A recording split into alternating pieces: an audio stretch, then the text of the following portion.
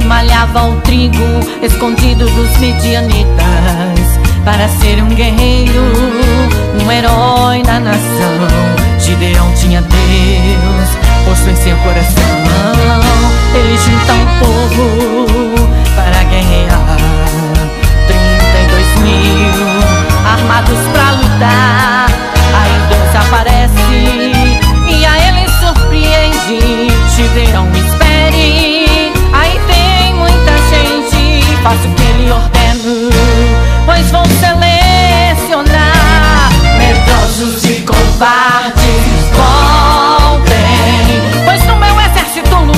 Quem for guerreiro.